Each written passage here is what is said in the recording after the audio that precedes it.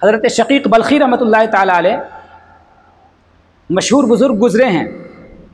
वो अपने असहाब के दरमियान जब वास फरमाया करते थे, अपने अहबाब के दरमियान जब गुफ्तु करते थे तो अक्सर अपनी गुफ्तु में एक बात नकल किया करते थे।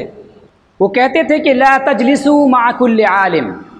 हर आलिम की सोहबत में ना बैठो। हर आलिम की सोहबत में न बैठो। फिर किसकी सोहबत में बैठो? फरमाते हैं कि इल्ला में मा मगर उस आलिम की सोहबत में बैठो। यदूकुम मिन खमसिन इला खमसिन, जो तुमको पाँच चीज़ों से निकाल करके, पाँच घाटियों से निकाल करके पाँच बुलंदियों तक तो तुमको पहुँचाए। वो पाँच चीज़ें क्या हैं? सबसे पहली चीज़ फरमाते कि मिन शक की इल यकीन, ऐसे आलिम की सोहबत में बैठो जो तुमको शक की शक के गड्ढे से निकाल करके यकीन की बुलंदियों तक पहुँचाए।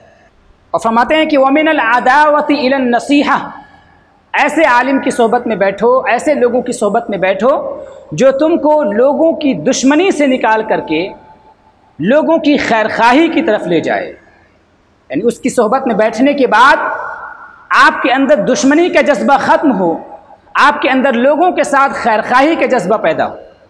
और वह मिनल किब्र तवाज़ और किब्र से वो तवाज़ों की जानब आपको ले जाए। इंसान चूँकि फितरती तौर पर, फितरत उसकी ये है कि वो अपने आप को बड़ा समझता है, वो बड़ा बनना चाहता है।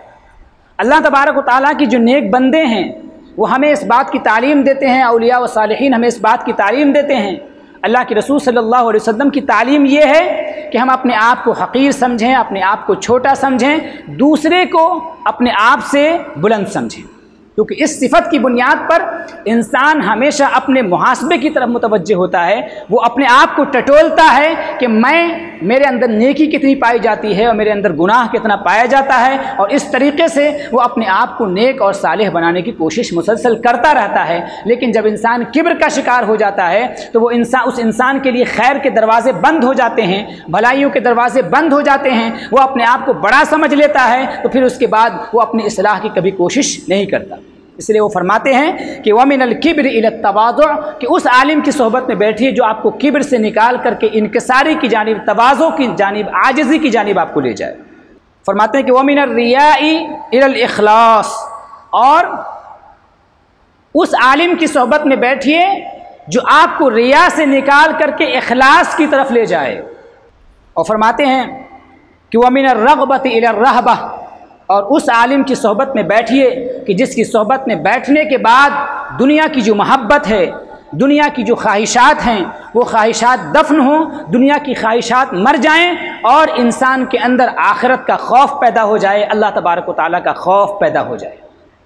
हज़रत शकीक बल्खी रहमत ताली ने फरमाया कि पाँच लोगों की सोहबत पाँच पाँच सिफ़ात रखने वाले आलिम की सोहबत इख्तियार करनी है, जो शख्स यकीन की तरफ़ ले जाए, जो दुश्मनी से खैर खाही की तरफ़ ले जाए, जो किब्र से तवाज़ों की जानब ले जाए, जो रिया से अखलास की जानब ले जाए, और जो दुनिया की मोहब्बत से निकाल करके हमें आखरत की मोहब्बत की तरफ़ और आखरत के खौफ, अल्लाह तबारक ताली के खौफ और उसकी खशियत की तरफ़ ले जाए।